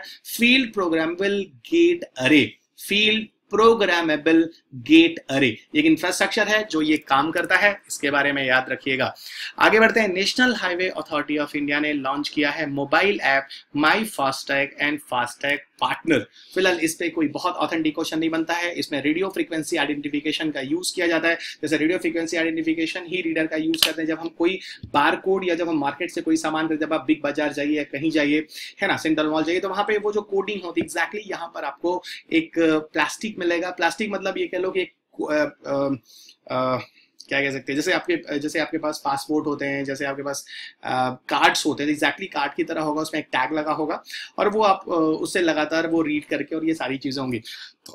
ठीक है और ये जो भी चीज़ें हैं, ये फ़िलहाल यहाँ पे मोबाइल ऐप के द्वारा होंगी। ठीक है तो काफ़ी हद तक आपका मोबाइल फ़ोन आपका पूरा मतलब एक तरह का कार्ड होगा। आगे बात करते हैं डिफेंस टेक्नोलॉजी में ऐसे कौन कौन सी चीज़ें हैं जो न्यूज़ में रही हैं? और अमूमन मैंने आपको हमेशा बोला है कि डिफेंस में जो भी क्वेश्चन आते हैं, वो जनरली करंट अफेयर्स पे बेस्ड होते हैं। आईसीजीएस सौर्या जो है, वो कमीशन किया गया है। आईसीजीएस का मतलब होता है Indian coast guard ship Saurya अभी हाल ही में कमीशन किया गया है इंडियन नेवी में वास्को में गोवा में। इसे गोवा शिपयार्ड लिमिटेड में बनाया है और ये चेन्नई बेस्ड एक administrative and operation control of commander coast guard region जो ईस्ट में है, उस पर आधारित है। इसको ज़्यादा जानने की ज़रूरत नहीं है। इसके बारे में एक चीज़ और याद रखिएगा, इसमें ट्विन इंजन है और ट्विन ट्विन इंजन वाला ये लाइट हेलीकॉप्टर को लेकर चलता है। और दूसरी चीज़, इसका जो फाइव हाई स्पीड बोट्स हैं, जो इन पर हैं, जो मतलब कोस्टल एरियाज़ में भारत की सेफ्टी के लिए एक छोटी सी कोशिश है।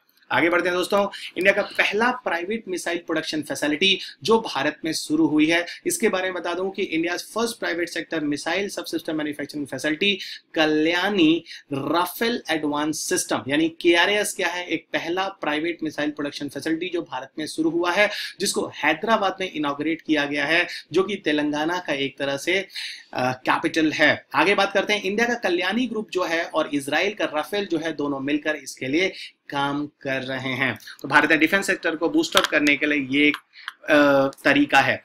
और आगे बढ़ते हैं दोस्तों, और आगे बढ़ते हैं ये किस तरह के इन्वेंशन किस तरह के काम कर रहे हैं दोनों मिलकर। तो ये डिफरेंट तरह की डिज़ाइनिंग कर रहे हैं डिफरेंट तरह के डेवलपमेंट कर रहे हैं, उस तरह के वेपन सिस्टम को मैन्युफैक्चर कर रहे हैं। जैसे कि आप मान लो एंटी टैंक गाइडेड मिसाइल बना रहे हैं डिफरेंट तरह के रिमोट ऑपरेटिव सिस्टम बना रहे हैं, जैसे रिमोटली पायलटेड व्हीकल बना रहे हैं। इस तरह की चीज़ों को बनाने की कोशिश भारत में की जा रही है। आगे बात करते हैं नाविका सागर परिक्रमा। नाविका सागर परिक्रमा के बारे में बात करें तो ये प्रोजेक्ट जो है पूरी तरह से ये विमेन ऑफिसर्स हैं जो बोटिंग होती है। जैसे आप मेराइन इंजीनियरिंग को समझते हैं तो आप समझते होंगे कि बोटिंग होती है। ये लोग पूरा का पूरा ओशंस के अंदर होते हैं। पूरा एक मतलब एक ट्रायल होता है। एग्जैक्टली exactly, लेकिन इसके बारे में सबसे यूनिक चीज़ क्या है कि नाविका सागर परिक्रमा ये पूरी तरह से फीमेल बेस्ड था।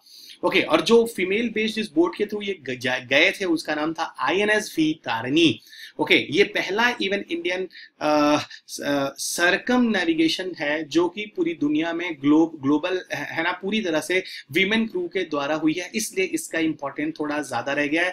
इसके पहले भी इसका जो सिस्टर वैगल था जिससे मिलता जुला जो वेसल था जो यूज़ किया गया था उसका नाम आई एन एस महादी था। महादी था दोस्तों आईएनएस महादी था तो इसके बारे में एक तरह से नारी शक्ति को लेकर एक तरह की बात है। तो नाविका सागर परिक्रमा आई डोंट थिंक सो ये बहुत पॉपुलर क्वेश्चन है, लेकिन आप नाविक सागर परिक्रमा याद रखिएगा विमेन ऑपरेटेड वेसल था, पूरी तरह से इसमें कोई भी मेल नहीं था।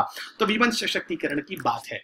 इंडियन ट्राई सर्विसेज़ एक्सरसाइजेज जहाँ पे इंडिया रशिया के बीच में ट्राई सर्विसेज़ हुए एक्सरसाइज हुए जो आर्मी नेवी एयरफोर्स तीनों के लिए ट्राई सर्विसेज़ 2017 में किया गया। ये एक्सरसाइज जो है विद फॉरेन कंट्रीज़ के साथ मिलजुल के हमेशा भारत कर रहा है। ये इंदिरा एक्सरसाइज 2017 में जो हुआ था, उसमें Russia including in the mountains Vladivostok region यानी रशिया में ये ये ये ये जो हुआ था, ये एक्सरसाइज हुआ था 2017 में इस तरह का।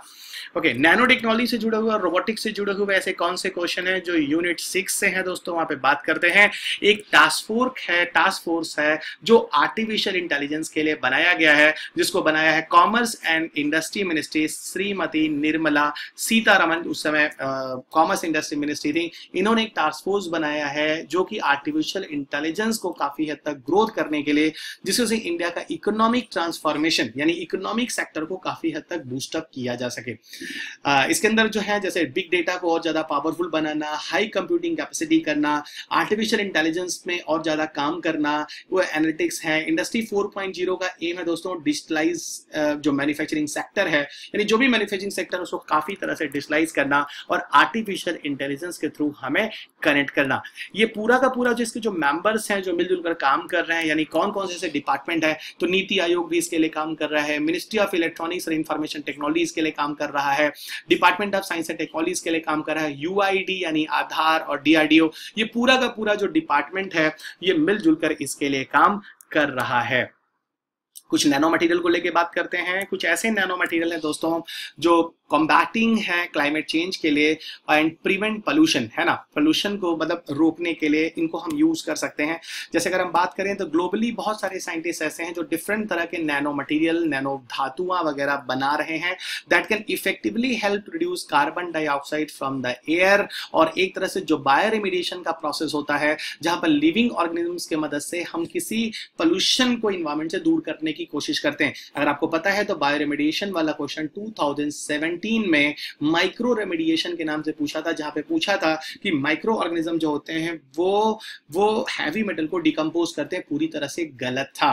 ओके तो यहाँ पे जैसे डाइज हैं ऑयल स्पिल्स हैं, इन सबको हम नैनो मटेरियल की मदद से हम ठीक कर सकते हैं बायो रेमेडिएशन कर सकते हैं पॉल्यूशन जो होते हैं, वहाँ पे जो लिविंग ऑर्गेनिजम्स के यूज़ करते हैं, उनकी मदद से कर सकते हैं। तो इस तरह की चीज़ें जो है नैनो मटेरियल में नैनो टेक्नोलॉजी में कहीं ना कहीं यूज़ हो सकती हैं। 2016 में भी एक क्वेश्चन जैसे पूछा गया नैनो टेक्नोलॉजी जो है, वो जीन टारगेटिंग में यूज़ कर सकते हैं। नडेकॉली मतलब जीन थेरेपी में यूज़ कर सकते हैं। नडेकॉली जो होती है, ये ये ड्रग ड्रग टारगेटिंग में यूज़ कर सकते हैं। तो आजकल नैनो टेक्नोलॉजी को लेकर भी यूपीएससी खूब सारे क्वेश्चन बना रहा है। आप 2016 में ये क्वेश्चन हु देख सकते हैं। एक तरह का केमिकल रिएक्टिविटी इलेक्ट्रॉनिक प्रॉपर्टीज़ और एंटी माइक्रोवेल एक्टिविटी को चेक नैनो मटेरियल की मदद से हम कर सकते हैं। तो वही पे यहाँ पे बोला जा रहा है कि हम कॉम्बैटिंग कार्बन एमिशन को हार्वेस्ट कर सकते हैं, यानी कम कर सकते हैं वाटर को क्लीन कर सकते हैं दोस्तों वाटर क्लीन कर सकते हैं बायोडिग्रेडेशन प्रोसेस को हम फास्ट कर सकते हैं नैनो मटेरियल की मदद से। तो यानी इन्वायरमेंट में नैनो टेक्नोलॉजी का महत्व जो है, वो भी अच्छा खासा बूस्टअप हुआ है। दुनिया का सबसे छोटा सर्जिकल रोबोट है जो बनाया गया है, जिसका नाम है दोस्तों वर्सियस तो अगर पूछा है कि हाल ही में वर्सियस जो न्यूज़ में रहा है वो क्या है? V E R S I U S तो वर्सियस जो है दुनिया का सबसे छोटा सर्जिकल रोबोट है जो बनाया गया है। और ये पूरी तरह से थ्री स्क्रीन आधारित है और ये पूरी तरह से हमारे शरीर में काम करता है। एक तरह से ये होता कि एक छोटा सा इंसीजन हमारी बॉडी में ए, मतलब होता है जनरली और उसके थ्रू ये बॉडी के अंदर जाकर यानी एक ओपन इन्वेसिव सर्जरी करने की ज़रूरत नहीं है। नॉर्मल सर्जरी में क्या होता है? हमारी बॉडी का पूरा पोर्शन कट होता है, फिर डॉक्टर ऑपरेट करता है ऑर्गन को बाहर निकालता है। ये चीज़ इसमें नहीं है। इसमें बेनिफिट क्या है दोस्तों? इसके अंदर क्या होता है कि छोटा सा नैनो टाइप का एक नैनो सर्जिकल रोबोट होगा बॉडी के अंदर जाएगा टारगेटिंग करेगा और प्रॉपर प्रॉपर साइट्स पर जाकर हमारे ड्रग वगैरह को टारगेट कर सकता है। तो वर्सियस याद रखना वर्सियस आपके पेपर के लिए क्वेश्चन हो सकता है, इस टर्म को थोड़ा सा ध्यान रखना। बायोटेक्नोलॉजी यूनिट आठ में आते हैं यूनिट एट में ऐसी कौन सी चीज़ें हैं जहाँ पे ध्यान रखना। एक तो आपको विजय याद रखना पड़ेगा इस साल, सरोगेट काऊ, जिसका एक नाम है विजय। तो इंडिया का पहला जो काफ है, जो बछड़ा है, जो बॉर्न हुआ है सरोगेट काऊ से, उसका नाम क्या है? तो विजय है, जो हमने इंडिया में हाल ही में बनाया है। और ये इनविट्रो फर्टिलाइजेशन का एक अच्छा खासा उदाहरण है। ये एक तरह से मोबाइल लेबोरेटरी है, जिस मोबाइल लेबोरेटरी के द्वारा इस सरोगेसी को मतलब जनरेट किया गया है और एक काफ बनाया गया है, जो जो जो पुणे, है ना इंदापुर, पुणे, महाराष्ट्र में ये काम किया गया है। इसके पहले भी इस तरह की कोशिशें भारत में हो चुकी हैं, जिसके लिए भारत में बहुत ही पॉपुलर एक इंस्टीट्यूट है नेशनल डेयरी रिसर्च इंस्टीट्यूट शायद आपको पता होगा इंडिया का पहला जो क्लोन बना था, जो बफेलो था, वो यहीं पर बनाया गया, करनाल, हरियाणा में। फ़िलहाल ये अगली अगली कोशिश है जहाँ पर हमने काऊ के मतलब काफ यानी बछड़े को हमने सरोगेसी के थ्रू जनरेट किया है उसका नाम विजय रखा गया है। तो आप इसको कंफ्यूज मत कीजिएगा, विजय क्या है? एक ड्राफ्ट गाइडलाइन है जो स्टेम सेल रिसर्च के लिए है, थोड़ा सा याद रखना, क्योंकि स्टेम सेल के मिसयूजेस होते हैं, हो सकते हैं। स्टेम सेल को लेकर बहुत सारी कंट्रोवर्सी होती है। तो एक ड्राफ्ट गाइडलाइन जो है, जो भारत की तरफ़ से लाई गई स्टेम सेल रिसर्च के लिए, ये भी न्यूज़ में रहा है। फ़िलहाल ये क्वेश्चन इस तरह के क्वेश्चन मेन्स के लिए ज़्यादा पॉपुलर होते हैं। इसलिए मैंने बोला, इस नोट्स को आप थ्रो मत करना, इसको बचा के रखना मेंस के टाइम में मेरे सारी वीडियोस आपको बहुत ही आसानी से आपको मेंस से क्वेश्चन बनाने में हेल्प करेंगे। Indian council of medical research ICMR जो है, वो डिपार्टमेंट ऑफ़ बायोटेक्नोलॉजी के साथ मिलकर काम कर रहा है रिसेंटली और इन चीज़ों को लेकर एक ड्राफ्ट गाइडलाइन लाया गया स्टेम सेल रिसर्च 2017 2017 का एक ड्राफ्ट गाइडलाइन बनाया है, जिसमें आईसीएमआर और डिपार्टमेंट ऑफ़ बायोटेक्नोलॉजी ने मिलकर काम किया है। इसकी इसकी इसी कोशिश क्या है दोस्तों की जो हम स्टेम सेल का है, उसका एथिकल और साइंटिफिकली रिस्पॉन्सिबल मैनर में यूज़ करें, यानी हम एथिकल मतलब मिसयूज ना करें। इस तरह की चीज़ें बाकी स्टेम सेल की टेक्निकल पार्ट को मैं यहाँ नहीं ले रहा हूँ, सिर्फ़ कंसेप्चुअल पार्ट को ले रहा हूँ। इसके अंदर एक नेशनल एपेक्स कमेटी है, जो स्टेम सेल रिसर्च और थेरेपी के लिए काम कर रही है, और यही करेंटली मॉनिटर करती है। आज के बारे में बात करूँ तो यही पूरे राष्ट्र में स्टेम सेल के रिसर्च और काम को क्या कर रही है? को मॉनिटर कर रही है, उसको देख रही है। हो सकता है स्टेम सेल का मिस भी हो सकता है।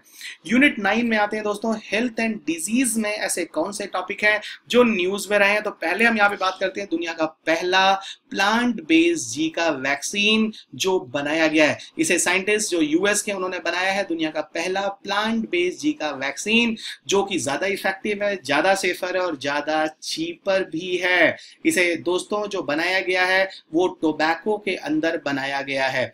फाइन और एक तरह मैं मैं आपको एक बात बताऊँ, हम लोग, मैं, मैंने आपको एक टॉपिक पढ़ाया है बायोटेक में कभी बुक में आप जाना, वहाँ पे मैंने आपको पढ़ाया हुआ है a double vaccine edible vaccine जहाँ पर मैंने आपको मॉलिकुलर फॉर्मिंग पढ़ाई है या फार्मास्यूटिकल वाली फॉर्मिंग मतलब बुक में दी हुई है बायोटेक में, वहाँ मैंने बताया हुआ और मैंने ये भी बताया हुआ टोबैको ही ऐसा प्लांट था जहाँ सबसे पहले एडेबल वैक्सीन भी बनाया गया था अगेंस्ट हिपेटाइटिस बी अब देखो, यहाँ पे जीका वायरस के बारे में जीका उसी मॉस्किटो से फैलता है जिससे डेंगू फैलता है। ये क्वेश्चन 2016 या 17 में पूछा जा चुका है। तो यहाँ एडीज मॉस्किटो से होता है। ये ट्रांसमिट जो डेंगू, जो जिस जिस एडीज मॉस्किटो सिर्फ़ डेंगू ही नहीं मतलब जी का ही नहीं, dengue West Nile fever yellow fever ये सारी बीमारियाँ देता है। क्या पता ये आ जाए कि इनमें से एडीज कौन कौन सी डिज़ीज़ देता है तो ये तीनों याद रखना दोस्तों।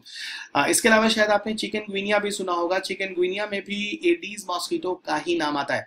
जो वायरसेस जो जी का फॉरेस्ट में सबसे पहले युगांडा एरिया में बीमारी देखी गई नाइनटीन उसी एरिया की की वजह से इसका नाम जीका रखा गया। 2015 में फिर अमर्ज होकर आया और काफ़ी साउथ अमेरिका में मिलियंस ऑफ़ द लोग इससे इन्फेक्टेड हुए थे। डब्ल्यू ने डिक्लेयर किया है कि यह डिज़ीज़ एपिडेमिक है, बहुत बड़े क्षेत्र में आती है, जब भी आती है और ग्लोबल हेल्थ इमरजेंसी भी इसकी वजह से लगाया जा चुका है। तो इसको रोकने के लिए पूरी तरह से कोशिश की जाती है। आगे बढ़ते दोस्तों second phase of measles rubella vaccine के बारे में बात होती है। उसके बारे में बात करते हैं। मिसल्स रूबियला वैक्सीन का सेकेंड फ़ेज़ जो है, वो लॉन्च किया गया है एट स्टेट्स में और यहाँ पर पूरी कोशिश है कि हम पूरी तरह से मिसल मिसल्स है ना, और को वगैरह को रूबेला इस तरह की बीमारी को 2020 तक हम यहाँ से भारत को मुक्त कर दें। और ये जो चीज़ है, इसमें तकरीबन 3.4 करोड़ चिल्ड्रन को एट स्टेट में कवर करने की बात की गई है। वो स्टेट आंध्र प्रदेश चंडीगढ़ हिमाचल प्रदेश ओके चंडीगढ़ मतलब आप एक लोकलाइज एरिया कह सकते हो, जो कि पंजाब का है। Kerala Telangana Uttarakhand Dadar, Nagar, Haveli, Daman and Diu will be covered in this stage इसमें एक्चुअली जो वैक्सीनेशन होता है, वो ऑल चिल्ड्रेन जो up to group of nine month या उससे कम होते हैं less than fifteen years will be vaccinated in the phase manner में हम देते हैं। तो under the measles rubella vaccination campaign में all children in the age group of nine month to less than than fifteen years है ना? तो जो नाइन मंथ से लेकर अप टू पंद्रह साल तक के बच्चे हैं, उनको इस तरह के वैक्सीन दिए जाते हैं। और तकरीबन कोशिश है कि इस तरह से 97 परसेंट ऑफ़ एज ग्रुप मतलब जो भी इस तरह के एज ग्रुप वाले हैं, वहाँ तक हम पूरी तरह से पहुँच जाएँ। नेशनल डी वर्मिंग इनिशिएटिव भी है इसके बारे में बात करते हैं दोस्तों। वर्म एक तरह के कृमि होते हैं जो प्लेटी हेलमेंथीज वगैरह के मेंबर होते हैं। Ministry of health and family welfare ने एक तरह से second round national deworming day जो आ, मतलब लॉन्च किया है 2017 में जो कि 33 स्टेट्स यूनियन टेरिटरीज को का टारगेट है। डी वर्मिंग यानी वर्म फ्री करना कृमि से बचाना। इसके लिए जैसे आंगनवाड़ी वर्कर्स हैं जो काम करते हैं आशा आशा है, जो एक एजेंसी है जो काम करती है। ये एनडीडी प्रोग्राम जो है, जो एक तरह से हम नेशनल डिवर्मिंग डे जिसको हम बोल रहे हैं वर्म को पूरी तरह से रिमूव करने की बात हो रही है। ये 2015 में लाया गया और डब्ल्यू ने एस्टिमेट किया है, तकरीबन 220 मिलियन चिल्ड्रन जो 14 साल से नीचे हैं एज वाले हैं, वो इससे सफ़र करते हैं इंडिया में। यानी कहने का मतलब है इंडिया में अच्छे खासे लेवल पर इस बीमारी से एसटीएच इन्फेक्शन एच इन्फेक्शन हम बोलते हैं सॉइल ट्रांसमिटेड हेलमेंथ बीमारी से ग्रसित होते हैं। क्योंकि मिट्टी के साथ ये वर्म्स जो होते हैं, वो बच्चों के अगल बगल जाते हैं और बच्चों की गंदी आदत होती है, कोई भी चीज़ उठाकर वो मुँह में डाल लेते हैं। तो ये वर्म्स बॉडी के अंदर जाते हैं और बच्चों को की डेथ तक कर सकते हैं। जनरली इसमें जिन बच्चों की डेथ होती है इफेक्टेड होते हैं, वो तकरीबन एक से उन्नीस साल के होते हैं वन टू नाइनटीन ईयर्स के। डीवर्मिंग की बात कर रहे हैं तो यहाँ पे एक चीज़ मैं आपको बता दूँ, ऐसा कौन सा टैबलेट है जो डीवर्मिंग के लिए सबसे ज़्यादा यूज़ और सेफ़ होता है? उसका नाम है दोस्तों एल्बिन एलबेंट डेजॉल अगेन आई रिपीट उसका नाम है एल्बेन डेजॉल जो कि काफ़ी सेफ़ ड्रग है और वर्म इन्फेस्टेशन के लिए अच्छी तरह से मदद करता है। डिवर्मिंग टैबलेट है। वेरियस हेल्थ प्रमोशन एक्टिविटी जो होते हैं, जो पानी से रिलेटेड है, वो सैनिटेशन और हाइजीन इसी को हम बोलते हैं जो रिलेटेड डिजीजेज होती हैं, किसकी वजह से वर्म बीमारियाँ होती हैं? वाटर सैनिटेशन एंड हाइजीन जिसको हम वॉश के नाम से जानते हैं, इसी की वजह से इस तरह के प्रॉब्लम होते हैं। जो स्कूल और आंगनबाड़ी के लेवल में इस तरह के प्रोग्राम को चलाने से, क्योंकि यहाँ बच्चे मिल जाते हैं और इनको हम पूरी तरह से बच्चों को मुक्त कर सकते हैं इन बीमारियों से। आगे मिसलेनियस टॉपिक आते हैं। That is the last unit of this book यानी बुक के बेस पर बेस करंट अफेयर्स जहाँ पे पाँच केमिकल्स को बैन किया गया है फायर क्रैकर्स में। आप जाना दोस्तों, मैंने फायर क्रैकर्स पे भी दीपावली वैकेशन के टाइम में मैंने एक वीडियो बनाया था, जहाँ मैंने आपको बताया था कि जो क्रैकर्स होते हैं, उनमें डिफरेंट कलर्स कहाँ से होते हैं। जो क्रैकर्स होते हैं, वो डिफरेंट तरह के, जैसे अगर आप बम लेते हैं, अगर आप क्रैकर्स लेते हैं डिफरेंट तरह के, उनमें जो कलर्स होते हैं, उनके पीछे क्या होते हैं, उनसे किस तरह के इफ़ेक्ट होते हैं, क्या पॉल्यूशन होते हैं, किस तरह की बीमारियाँ होती हैं तो वहीं पर, वहाँ पे जाके आप और डिटेल में देखना। सुप्रीम कोर्ट ने दशहरा, दीपावली में जो हम फेस्टिवल मनाते हैं, वहाँ पर फायर क्रैकर्स को यूज़ करते हैं, वहाँ पे कुछ ऐसे केमिकल है जो फायर क्रैकर में पूरी तरह से इनहिबिट कर दिए गए हैं, रोक दिए गए हैं। इसको जो लेवलिंग है, इसकी टॉक्सिक लेवल की, ये हमारे इंडिया में जो बताता है सीपीसीबी बताता है सेंट्रल पोल्यूशन कंट्रोल बोर्ड की कौन सा केमिकल किस लेवल पे टॉक्सिसिटी रखता है? तो मैन्युफैक्चरिंग जो फायर क्रैकर्स है, उसमें इस तरह की चीज़ों का यूज़ नहीं होगा। कौन कौन से ऐसे केमिकल इसका यूज़ हम फायर क्रैकर से बंद कर चुके हैं? सुप्रीम कोर्ट का ऑर्डर है एंटीमनी लिथियम मरकरी आर्सेनिक और लेट यानी सीशा बिल्कुल भी प्रयोग में नहीं लाना चाहिए। ये ऑर्डर जो आया है दोस्तों, ये सीपीसीपी और पेस्को पेस्को इन दोनों ने मिलकर काम किया है, जिसके बेसिस पर सुप्रीम कोर्ट ने इनको पूरी तरह से बंद करने की बात की है।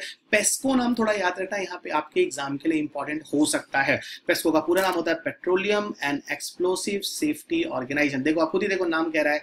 एक्सप्लोसिव सेफ्टी ऑर्गेनाइजेशन ओके ये firework research and development centre जो कि सिवाक्सी में है, तमिलनाडु में, इन लोगों ने मिलकर इसकी पूरी जानकारी दी है। तो पेस्को के बारे में थोड़ा याद रखना है। पेस्को जो बनाया गया था, इसका मेन पर्पज था to control and administer the uses of explosive petrol stations in India. यानी इस तरह के एक्सप्लोसिव वगैरह को पेट्रोल स्टेशन वगैरह पे यूज़ ना किया जाए। हाल ही में दोस्तों क्लाउड सीडिंग प्रोजेक्ट है, कर्नाटका में हुआ है। ओके जो कि चकोर एयरफ्रेंड वगैरह में है, इसके बारे में जिसका वर्षाधारी नाम रखा गया है, जहाँ पे क्लाउड सीडिंग का मतलब होता है आर्टिफिशियल रेन जहाँ पर दोस्तों, यहाँ पर सिल्वर आयोडाइड आर्ट की चीज़ों को हमने यूज़ किया है, जिसको बीक्यू हंड्रेड के नाम से भी जानते हैं। फ़िलहाल यहाँ नोट्स में नहीं लिखा, लेकिन आपको बता रहा हूँ बीक्यू हंड्रेड इसमें सिल्वर आयोडाइड और कुछ एल्किल हेलाइड को मिलाकर हमने क्लाउड से क्या कराया? बारिश कराई है। यानी जो क्लाउड्स दोपहर के बाद बन जाते हैं, उनमें इन चीज़ों की मिक्सिंग के बाद हम उनसे बारिश करा सकते हैं। क्योंकि कंडेंसेशन ना होने की वजह से क्लाउड्स होते हैं क्लाउड्स तो एवरी डे बनते हैं क्योंकि सनलाइट होती है लेकिन बारिश नहीं करते। लेकिन इन चीज़ों को मिलाकर हम क्या कर सकते हैं हम कंडेंसेशन करा सकते हैं वाटर पेपर सारे के सारे कंडेंस हो जाते हैं और फिर वो वाटर ड्रॉप के फॉर्म में गिरते हैं। यहाँ जो इम्प्योरिटीज हैं जैसे सिल्वर आयोडाइड है ना कौन कौन सी चीज़ें मिलाते हैं उसका नाम लिखा हुआ है कि आ, कौन सी चीज़ें इंट्रोड्यूस करते हैं इम्प्योरिटीज में मिलाते हैं सिल्वर आयोडाइड पोटेशियम क्लोराइड और अदर्स भी मिलाते हैं जिसकी वजह से ड्रॉपलेट जो होते हैं वो failed out as a rain okay okay, दोस्तों यहाँ पर ये पूरा का पूरा अगस्त मंथ का करेंट अफेयर्स खत्म हो चुका है। बाकी आप मेरे फेसबुक पेज पर आप जाइए स्टडी आई के प्लेटफॉर्म पर भी ये सारे के सारे करंट अफेयर्स पे इस मंथ के करंट अफेयर्स पे बेस्ड ट्वेंटी क्वेश्चंस भी बने हुए हैं आप उनकी प्रैक्टिस ज़रूर करें। फ़िलहाल इनके साथ वो चीज़ें लिंक हैं इनके लिंक के साथ आप जाइए उन, उनको उनको पूरा का पूरा आप करंट अफेयर्स पढ़िए। और बुक को ज़रूर फॉलो कीजिएगा क्योंकि इसके सारे कंसेप्ट ये पॉसिबल नहीं करंट अफेयर्स में मैं चीज़ों को पढ़ाऊं इस बुक के पढ़ने के बाद। फ़िलहाल दोस्तों एक गुड न्यूज़ भी इस बुक का सेकंड एडिशन आ रहा है। इस बुक को 18 के बाद 19 के लिए इसका सेकंड एडिशन मार्केट में अवेलेबल होगा after prelims examination so prelims आप ऑनलाइन कोर्सेज के लिए स्टडी आई पे मुझे फॉलो कीजिए और ऑफलाइन के लिए आप मेरे क्लासेस को एंड्रू डाइस पे सुन सकते हैं, दिए गए नंबरों पे आप कांटेक्ट कर सकते हैं। थैंक यू एवरीबडी अपना ख्याल रखिएगा। बिल्कुल कमेंट बॉक्स में कमेंट ज़रूर दीजिएगा, चाहे वो हमारे बारे में अच्छा हो या गलत हो। गलत के लिए भी अगर आप निगेटिव भी बोलते हैं तो वो हमारे लिए पॉजिटिव होता है, क्योंकि वो हमें इम्प्रूवमेंट्स की बात होता है। इम्प्रूवमेंट हमें हमेशा होता है, पूरी ज़िंदगी हम टीचर्स भी कुछ ना कुछ सीख रहे होते हैं। सो थैंक यू अपना ख्याल रखिएगा। Take care